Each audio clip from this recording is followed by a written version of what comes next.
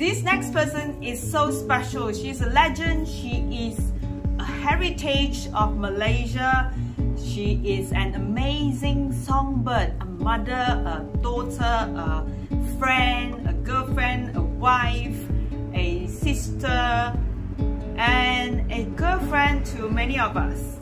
She is Datuk Sheila Majid not only she has been in the industry more than 30 years, but she has won numerous awards. To name some, I probably just too long. She has 16 awards and she has four special award title as well. She has 25 albums in Malaysia. She released 8 albums in Indonesia, 5 in Japan and 1 in UK. Wow! You're amazing! And she's uh, she has like video broadcasts, you know, more than 10 of them. She did 52 concerts. 52 concerts. This is a record, man. And you know, she does a lot of endorsement as well, like more than 14 of them. But anyway, she's just amazing. And let's hear what she has to say about International Women's Day. Hi, Dr. Sheila. How are you today? I'm good. How are you, Mel? I'm good. Happy International Women's Day. Same to you. Yeah, to all the ladies out there, you know. To all the courageous, strong ladies out there, virtual hug to all of you. So I will jump straight into the question for you. Okay. Okay, what does International Women's Day mean to you? International Women's Day is celebrating women, all age, all walks of life, you know. Um, women have always been the ones that are the movers and the shakers, if you ask me.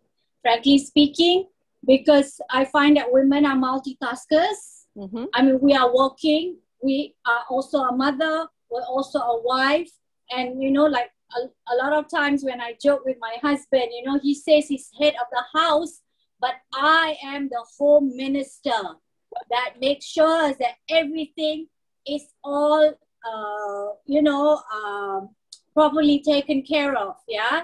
So we're the ones that normally delegate work. We are the ones that always set up the schedules for our family, you know. And trust me, whenever you go home, the first question you will will ask is, mana mak? Where's mom? That's always the first question. I noticed that, you know, with my family and my children. It's like when there's no mom at home, there's no life. Everything is like deadpan, you know. So, uh, yeah, I, I think it's time that we celebrate women. I think it's time for us to actually value their, uh, you know, their contribution to the world. And also is is women are very important because all human beings starts with listening to a woman. That's your mother. You know very like true. correct? So i think it's time we celebrate women and we value them you know. I don't think we should look at them as second class because i don't know i think that's just culture. Yep, you know because being true. asians we always think that women their job is to just stay home, cook and clean and look after the children. Hey, that's work too, okay? At least if you go to work, nine to yeah. five, you come back, you can put up your legs and rest. Yeah. But being a mother and a you know a housewife, there's no way you can take even a minute off. The work keeps going on. 24 so 7. Correct. So it's time to appreciate women, guys, and children. Appreciate your mother. And you know, we gotta stand stand strong. Like I said, we're multitaskers. You know, in fact, actually, a mother's role is very important because when you have values, you have principles, and all that. Those are the things that you impart to your children, and these are the pearls of wisdom that will make them grow up to have a better uh, attitude towards things. Yeah. Okay, what kind of women inspired you? I get inspired by um, strong women, you know, women that has their own opinions, uh, I may not agree with their opinion, but then like like you know you you disagree you agree to disagreements, yeah. Yeah. So I like women who are strong that has an opinion, you know, uh, not obnoxiously strong lah, you know, within reason, yeah, and making a lot of sense, and uh, women who strive to the best of their ability in whatever they're doing and all the challenges that they're facing but they still move ahead. They still move ahead, you know, without feeling defeated. I admire women like that. Yeah. And I learned that it's up to you to make your work, your your your day interesting. Mm-hmm. You know, like for example, I always tell this to my children when they complain that they're bored, bored, bored. I say, hey, you know what? The day is going to be the same morning, noon, evening, and night. And nothing's going to change unless you change it. So if you want to make your life interesting, you find something to do on that day that is productive, something that you are excited about, like a little bit of achievement, like tanam chili ke, you know, little little things that is um that is achievable. Don't go and think of doing something that is going to be a bit impossible to achieve because that's going to just bring down your your what do you call that uh semangat you know you will you will get demoralized so do things that are, are, are small and achievable, like for example, with this MCO. Mm-hmm. For me, it is hitting our indus- industry the hardest because we would need mass gatherings to work. And mass gatherings is a no-no, right? So what I try to do is since I have no work, I try and work on myself. So I've been running, you know, doing productive things to myself. I've been jump rope and then I try a bit of cycling, you know, and it keeps me excited and it keeps me looking forward to the next day, you know, like to see how much I have achieved.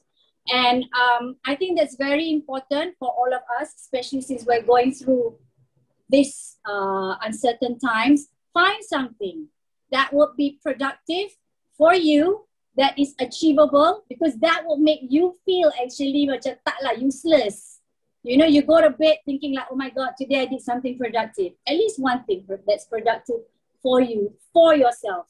Okay, describe yourself in one word. Easygoing. Good. Is that one word? Easygoing, yes. okay, how do you see uh, women in today's society? Okay, uh, compared to what it was before, I see it now today. Women are a bit more uh, forward in, in you know in education, in business. Um, there are more women that are out there than yeah. just being at home, which is fine, you know. Uh, but what I would like to remind women is you don't have to be just because you're competing with the men out there, you don't have to be hard like the men. We are feminine. You know, we have a softer side to us. And I always believe that persuasion is better than aggression. That is our strength, you know. So don't try and be like the men. No need. Be yourself. You take what your femininity has that you can actually apply in your work. I think women today are so much, much more advanced than what we were before. I mean, you look at New Zealand as a woman prime minister. In fact, actually, I think Malaysia should also have a woman minister. That's what I think. Prime minister. So we need a bit more empathy. We need a bit more compassion. We need a bit more common sense. Because today, just because you have a degree doesn't mean you have common sense. We have True. seen around us, correct? You can have your PhD, your master's, and all that, but still you're doing nonsensical things, which does not make sense. So there's a difference between educated and intelligence because you can be educated and still be an idiot. I'm sorry.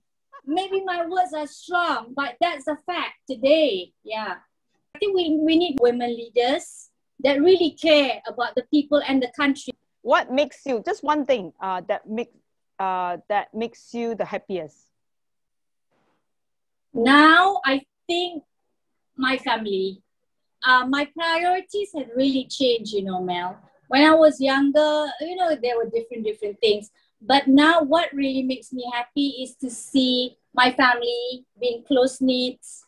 Uh, what really makes me happy is to see that everything is enough.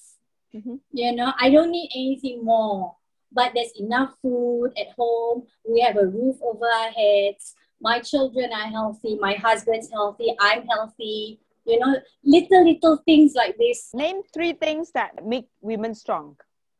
Don't really care about what other people's ju- judgments are about.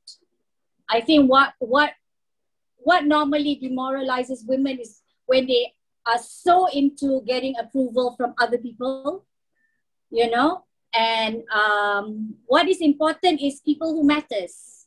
Mm-hmm. That's what I learned, and that's what I have sort of uh, uh, what how shall I say? Uh, that is something that I have taken into my life. I've been an artist since I was 18 years old, and there's so many netizens out there. You know, they will just wanna throw personal attacks on you, correct? Sabotage. But it doesn't matter. It does, I don't really care about that. I have learned to not care because to me, it's like those who are throwing personal attacks at me, who are you? I read your name also, I don't know who you are. If you've done something really good about your life, then maybe I read your name, I will know who you are. So before you start telling me what to do and advise me, maybe you should use the advice for yourself because you're definitely not doing anything with your life because I don't know who you are. So you got to pick and choose, you know, the ones that send you constructive criticism. If they are people who are successful and you admire them and then they give you constructive criticism, yes, you can look into it and work your way to be better. But it's just personal attacks from some stranger. That's one person's opinion.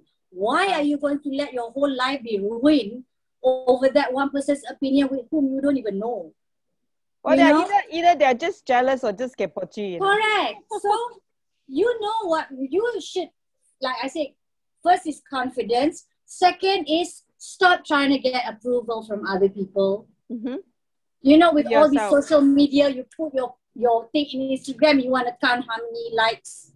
That does not speak on what you are, who you are okay? Mm-hmm. because the most important thing to me is not is not so much reputation because reputation is what other people perceive you to be when it's not even true. Because the people who talk about you the most are always the people who know you the least. But what you need to work on is character good character. Yeah and this is what a lot of people have forgotten. They think by just pasting makeup on their face, looking good, designer outfits and all that kind of thing makes them a person. But when you get to know them, you'll be very disappointed because first they have nothing up there. Okay? And number two is like they're just like a walking clothes hanger. There's no substance. And behave badly. Oh, that one cannot. I cannot. You know?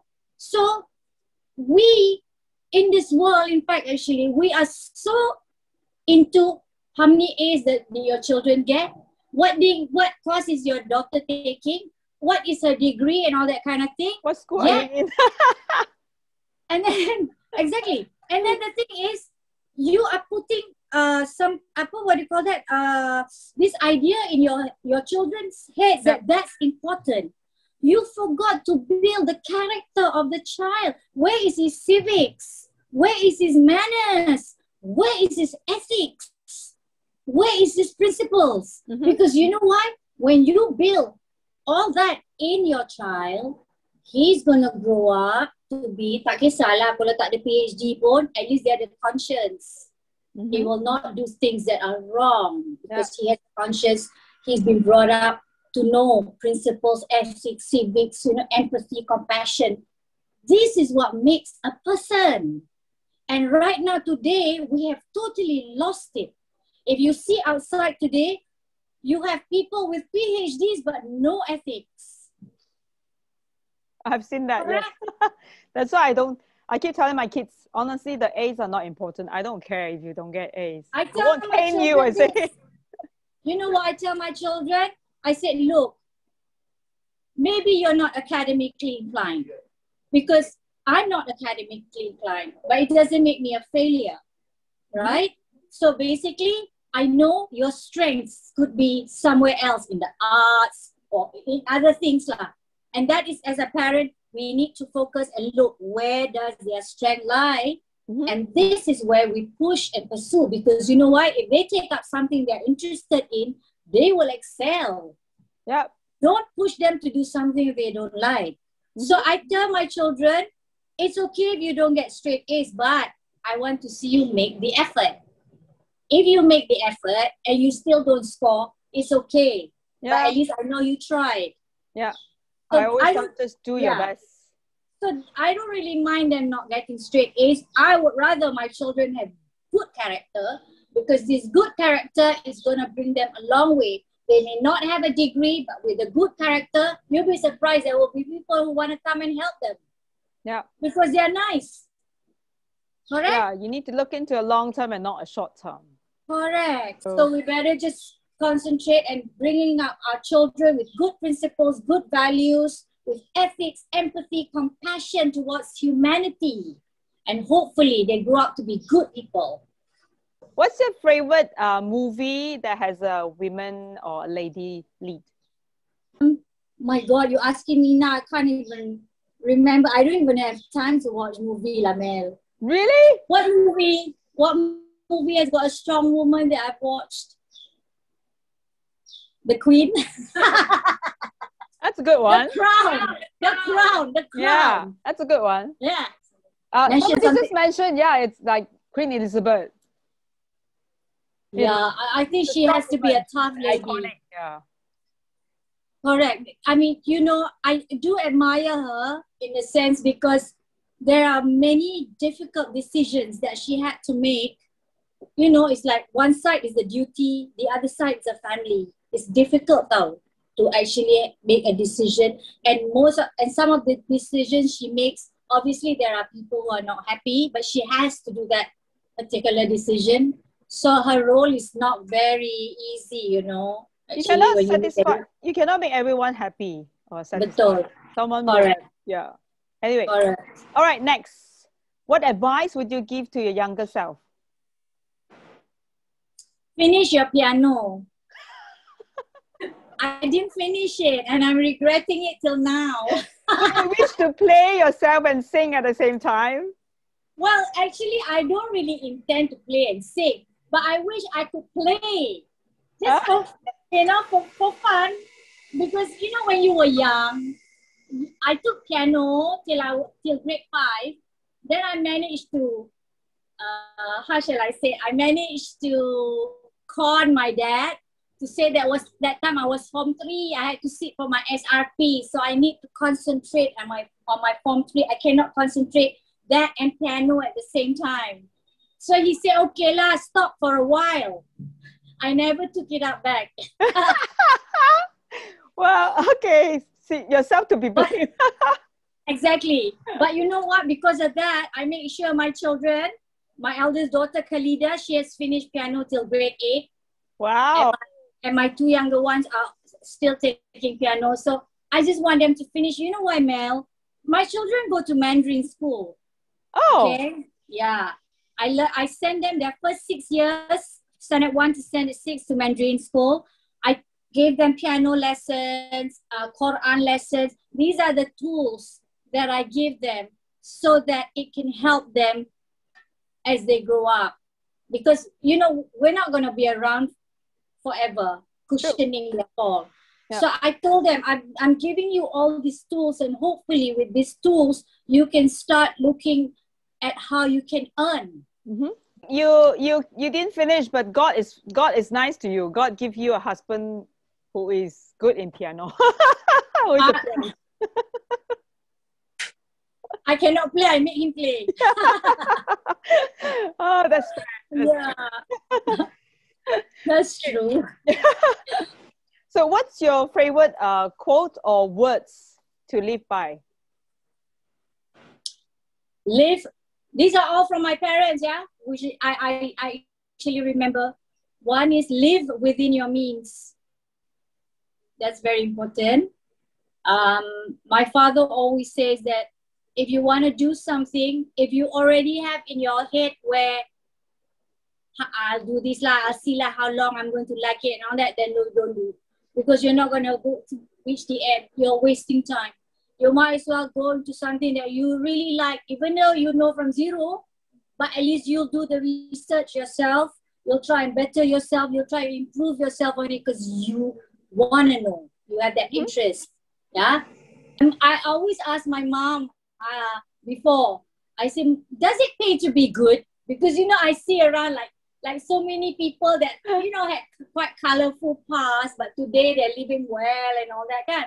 And my mom is always forever telling us to behave, behave, we are girls, behave. And I'm like, does it pay to be good? I said, I asked her. I said, look around you. And she said, listen, it does. Because like it or not, if you behave badly, it is going to come and bite you in your butt one day. Yeah. It will come back. What comes what what comes around goes Correct. around. Yeah. So if you could have one superpower, what would it be and why? Superpower. One superpower. I would like to actually bring back nature, how nature was before, before we started raping it and abusing it in this world. Yeah. But you know what I really want, uh, astral travel. I wish I could just be invisible and travel back to all those years so that I can see what actually happened. I love history. You know, I love Islamic history, I love British history, and anything to do with history. Lah. So I'm, I'm actually um, intrigued by it. So I would like to go back to those days and watch how, you know, like the Ottoman Empire, how they used to live before and then the British Empire, how it was before, even right to the point of my Prophet Rasulullah Sallallahu I would like to, but I'm just like a bayang-bayang lah, shadow, walking through everyone. I would love to be able to do that. Time traveler. Something like that, yeah. yeah, that would be amazing. I would love to go yeah. see their fashion as Can well. Can you imagine if you go back and you can look at all their fashion at that time, how things are being made? What those amazing.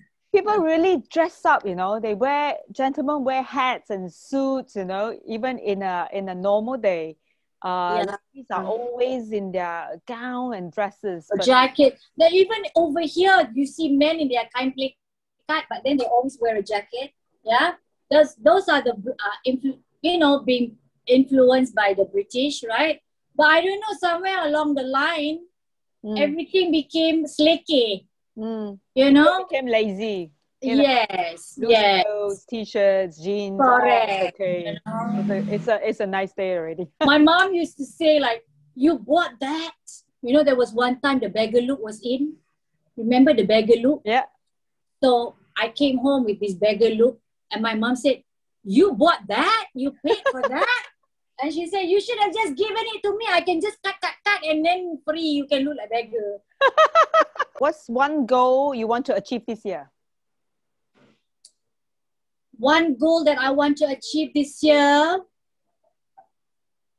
Well, basically, I just want to make sure I'm healthy. That's all.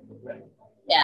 Uh, now, just tell me uh, last last words you want to say to everyone, or last words. Last words I want to say. Okay. Uh, basically, I would like to wish everyone, especially the women, since it's International Women's Day, right?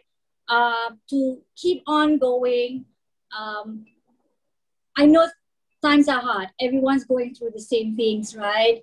And you know, there will be days when you're gonna feel down and depressed. It's okay. It's okay not to be okay. All right. And and also stay positive.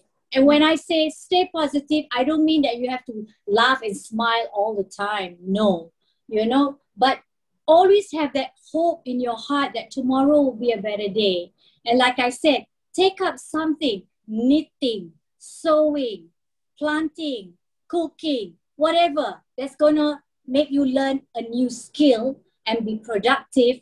That is what that's going to make you look forward to the next day because you feel as if like you have done some kind of achievement. Mm-hmm. And you know, when you plant a tree every day, you go and look at the pot, you see the shoot and all that. That's hope. that will make you feel good. Achievement, of- right? Yes, instead of feeling useless. Don't feel defeated because you know why? Everyone's going, going through the same thing. And it's up to you to make your life better. Yeah. Never allow anything or anyone ruin it. Mhm. Okay? It's up to you to decide. Like I said, when people put you down, look at them. Who are they? Are you going to be taking it seriously? Who's this person? So don't let people put you down either. You know what you're worth and you know what you can do. You are stronger than you think you are. I never thought I could skip. I never thought I could do jump rope at 56 years old. But I took it as a challenge. At least that's something I can do every day and improve. And hey, I can do it. All right, I'm going to take that challenge as well. You got your bike. I never thought I could ride my bike. When you saw me riding my bike, you bought one, right? yes. Yes. and it keeps you healthy.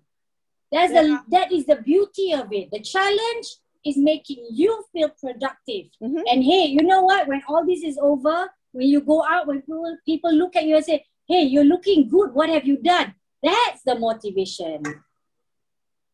Instead of being a couch potato, and then when things open up, you're not ready.